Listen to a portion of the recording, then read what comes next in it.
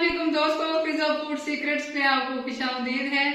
आज मैं आप लोगों के लिए बहुत ही मज़ेदार और यूनिक किस्म की रेसिपी लेकर आई हूँ। आलू के कटलेट्स विद चीज़ जो बहुत ही मज़ेदार और यमी तरीके से हम बनाएँगे, जो बच्चों के लंच बॉक्स में भी आप दे सकते हैं। आप चाय के साथ स्नैक के तौर पे भी यूज़ कर सकते हैं।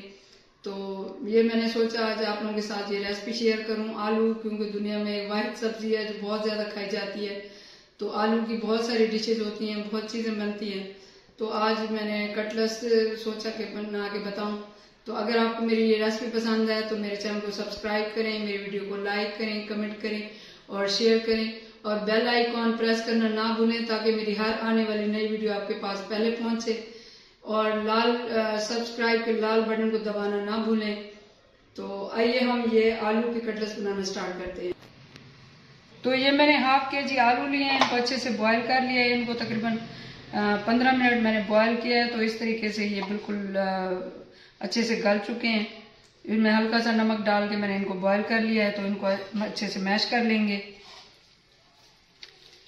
आप इस तरीके से या जो कांटा होता है, खाने वाला, जिसे हम फोक कहते हैं उससे भी आप कर सकते हैं, अगर आपके पास ये मैशर नहीं है। तो इनको हम अच्छे से मिक्स मैश कर लेंगे, ये इसमें कोई भी लम्ब वगैरह कोई भी नहीं रखेंगे और अच्छे से मिक्स करेंगे।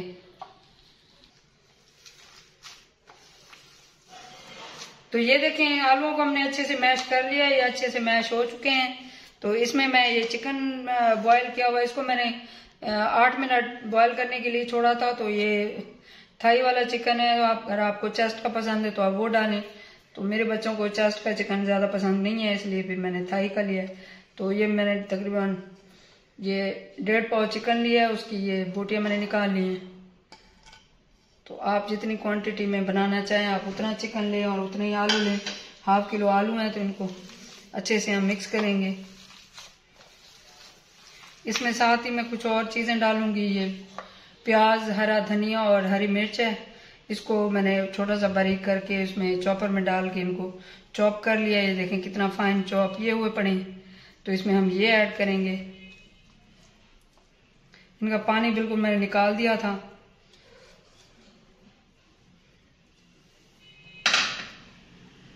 इनको हम अच्छे से मिक्स कर लेंगे। तो इसमें कुछ मैं और स्पाइसेस डालूँगी। ये, हमारे ये जो है मिक्स हो चुके हैं। तो इसमें मैं चाट मसाला ऐड करूँगी। ये तकरीबन एक टीस्पून भर के मैं इसमें चाट मसाला ऐड कर रही हूँ। चाट मसाला से बहुत ही मज़े के और चटपटे बनते हैं। तो अब हम ये नमक ऐड करेंगे। नमक हंस पे जायका ज़रूरत करेंगे। तकरीबन एक टीस्पून के बराबर। और इसमें ये ज़ीरा पाउडर जाएगा। हाफ़ टी स्पून इसमें पिसा हुआ धनिया जाएगा। तकरीबन एक टीस्पून भर के इसमें हम डालेंगे। आप अपने हिसाब से जितनी आप बना रहे हैं क्वांटिटी में, उतने हिसाब से डालें स्पाइसेस जी, मैंने हल्दी पाउडर डाला है हाफ़ टी स्पून से कम। ये चिली फ्लेक्स हैं जो कुटी हुई लाल मिर्च होती हैं, ये हो जाएँगे एक टीस्पून इसमें थोड़ी सी हम काली मिर्च ऐड करेंगे। ये हाफ़ टी स्पून के बराबर इनको अच्छे से मिक्स कर लेंगे। इन सब चीज़ों को हम अच्छे से मिक्स कर लेंगे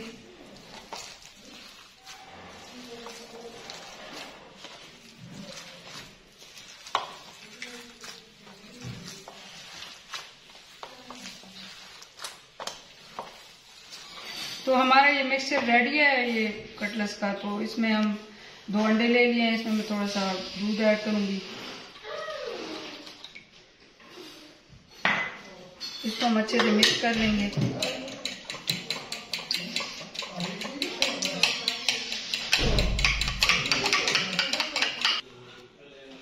तो इसको हम कटलस को शेप दे लेंगे, इनको बना लेंगे।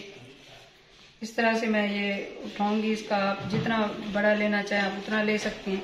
तो इसमें हम इस तरीके से, ये चीज़ मैंने कट करके रखी थी रखी थी मेरे पास चीज़ के, थे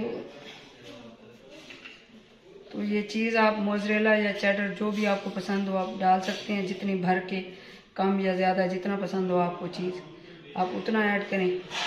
इसको हम इस तरीके से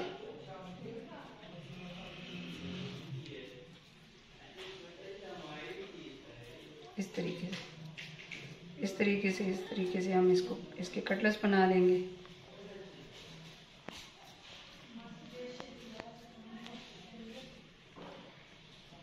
इसको हम पहले मैदे में लगाएँगे इस तरीके से। अच्छे से मैदा लगा के फिर हम इसको इसमें लगाएँगे। अंडा और जो दूध का मिक्सचर बनाया उसमें। फिर उसके बाद हम इसको इस तरीके से ब्रेड क्रम्स में लगाएँगे। तो ये ब्रेड क्रम्स मैंने ज़्यादा बारीक इसको ज़रा ग्राइंड कर लिया था। इनको इस तरीके से ये बिल्कुल वो हुई पड़ी है। इस तरीके से हम रखते जाएँगे, इसी तरीके से और मैं ले लूँगी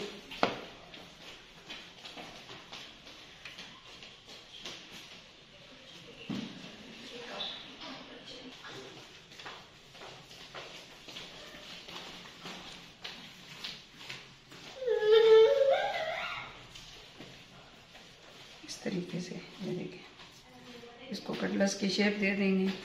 तो आप इस तरीके से भी बना सकते हैं कि पहले इसको इसमें ये अंडे और दूध के मिक्सचर में ऐड करें।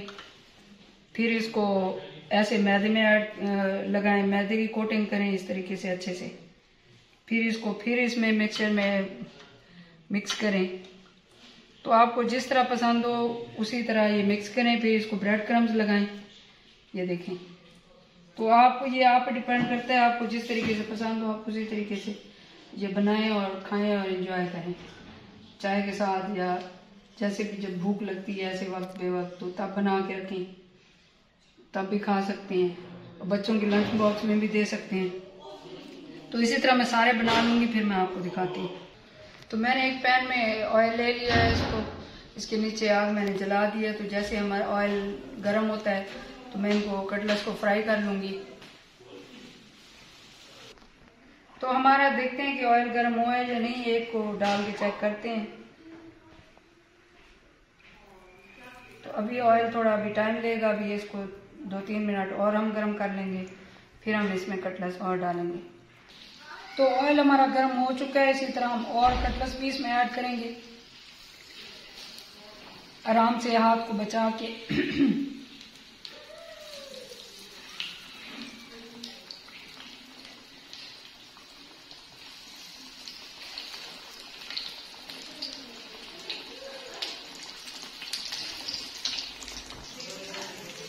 देखें ये कटलस हमारे कितने प्यारे फ्राई हो रहे हैं और किस किस तरीके से। ये इस तरीके से आप बनाएँगे तो बहुत ही मज़ा आएगा और बच्चों को लंच बॉक्स में देंगे स्कूल के लिए, या आप चाय के साथ स्नैक के तौर पे यूज़ करें, या जब भी आपको जिस तरह बेटाइम भूख लगती है तो घर में कुछ नहीं होता, ये बने पड़े होते हैं तो हम खा लेते हैं। बच्चों को भूख लगती है या कभी मेहमान आ जाते हैं तो हम उनको सर्व कर सकते हैं चाय के साथ। तो इसकी अब साइडें नीचे से थोड़ा थोड़ा पकना स्टार्ट हो गई हैं तो मैं साइड चेंज करूँगी। तो हमारे ये कटलस तैयार हो चुके हैं, ये वाले। ये देखिए इस तरीके से, क्योंकि सारा कुछ इसमें जो मसाला था वो पका हुआ था। चिकन भी और आलू भी बॉयल हुए हुए थे। तो इसको तकरीबन चार मिनट लगे हैं। तो इस तरह हम इनको निकाल लेंगे।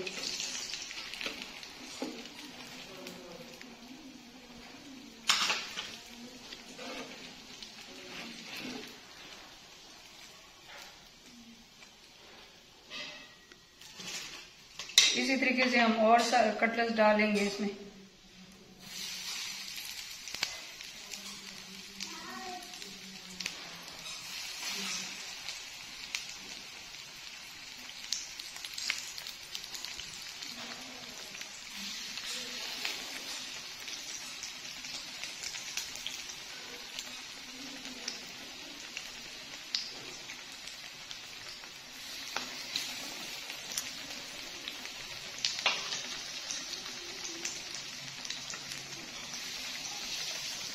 इनको भी हम पका लेंगे तो तीन, चार चार मिनट लगेंगे, फिर मैं आपको दिखाती हूँ। तो इनकी भी एक साइड थोड़ी थोड़ी पक चुकी है तो हम साइड चेंज कर लेंगे। फ्लेम को थोड़ा ज़्यादा कर लेंगे। आराम से, प्यार से, हाथों को बचा के, क्योंकि ये ऑयल है तो ऑयल के छींटे अगर हाथ पे या फेस पे पड़े तो फिर बहुत तकलीफ़ होती है। तो इसलिए अपने हाथों को बचा के आराम से आज मेरा थोड़ा गला भी खराब है और तबीयत भी खराब है, मेरा ब्लड प्रेशर हाई हुआ हुआ है तो मेरी आवाज़ भी नहीं निकल रही। तो मेरे लिए आप ज़रूर दुआ करें। तो ये जैसे ही पकते हैं, फिर मैं आपको दिखाती हूँ। तो ये देखिए, ये कटलेट भी हमारे पक चुके हैं तो इसका बहुत प्यारा सा कलर आ चुका है और ये सारी चीज़ें पक चुकी हैं। फ्लेम में ऑफ़ कर दूँगी और इनको निकाल लूँगी